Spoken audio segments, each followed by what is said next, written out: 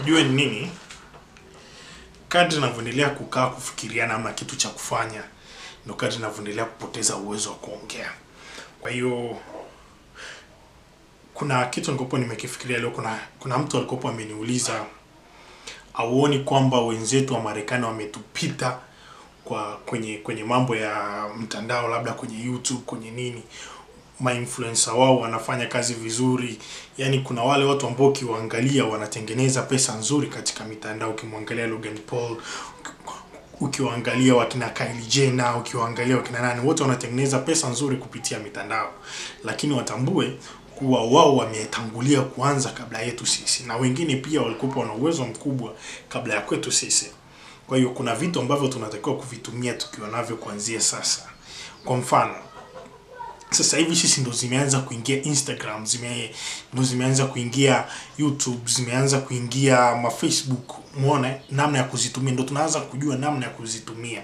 Kwa hiyo sasa hii ndo muda mzuri wa kutengeneza fursa, namna mzuri ya, ku, ya kujitengenezea time nzuri ya, ku, ya kutumia ya kutumia nanili ya kutumia hii mitandao ya kijamii kwamba alikuwa na jamaa alikuwa ananiongelesha kuhusiana na baadhi ya mitandao za Instagram, baadhi ya page za Instagram za, za watu maarufu ambao ni, ni, ni, ni wadogo miaka kuanzia miaka 19, 17, 20 wana makampuni au kuna kampuni kubwa zinawalipa jinsi walivyo wabunifu, wanavyochora, wanavyofanyaje, lakini hata hapa nyumbani kuna watu wanafanya hivyo vitu lakini sasa sisi hatuendi kwa namna hiyo.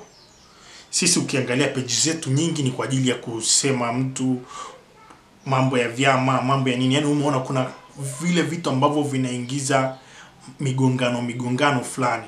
Lakini mtu kama angekuwa amejipanga vyema umejipanga kutengeneza kitu. Kwa mfano peji yako inahusiana labda na kuchora.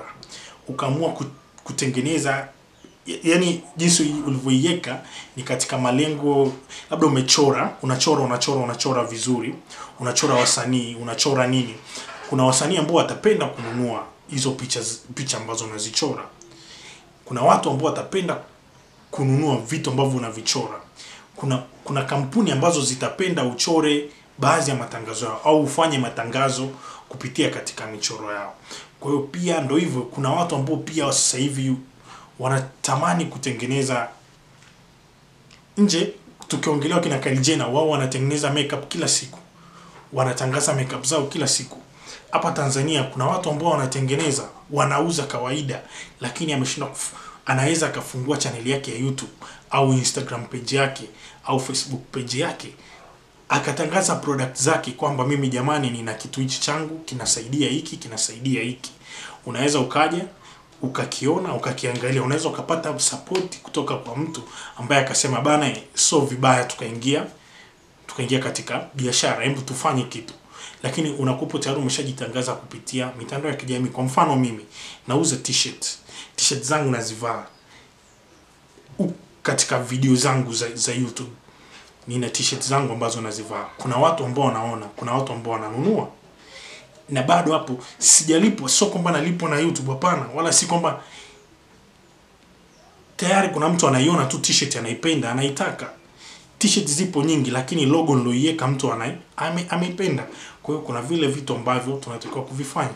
Kwa hiyo kwa ujumla zaidi namuelimisha msela kwamba kitu ambacho kinahitajika kufanyika ni kwamba unahakikisha unaikuza peji yako kulenga nini. Unasimamia katika kitu gani tanzania kuna channel 250 ambazo zinatambulika katika system ya youtube kwamba hizi channel hizi channel huwezi amini amna wadada wanaodili na makeup wa tanzania. Amna yani hiyo ni hii ni fursa nzuri kwa wadada wa kitanzania ambao anaweza akasema leo akaanzisha chaneli yake ambayo akaipa na dili na makeup. Hakuna katika channel 250 hamna chaneli ambazo zinadili na mambo ya teknolojia. Hamna chaneli ambazo zinadili na review za movie. Hamna chaneli ambazo zinadili na namna ya kujitangaza na baadhi ya vitu. Hivyo vitu haviko. Ziko channel za habari ndo nyingi. Habari na mziki. Hizo ndo nyingi. Lakini kuongelea kitu cha kumwendeleza mtu aziko ni ni channel chache mno. Chache chache Millard Ayo anaongoza kwa habari global habari sijui Arusha nini habari wengine ni story kwenye entertainment. Amna vile vitu ambavyo vinamvutia amna namna ya kutengeneza vitu amna ubunifu. Kwa hiyo tunatakiwa kuwa wabunifu katika namna ya jinsi ya kujitangaza katika channel zetu hizi katika hizi katika hii ulimwengu wetu wa kisocial media. Kwa kaa tengeneza tengeneza peji yako moja au mbili au tatu. Kwa maana tunaangalia vitu ambavyo unaweza ukasema kwamba kwa kwetu ambavyo vimejaa ni tuna facebook tuna instagram tuna twitter na tuna youtube ambavyo ndo vitu ambavyo watu wanavikimbilia kila siku. Hatuwezi tukashindana na wamarekani wao wameshatutangulia.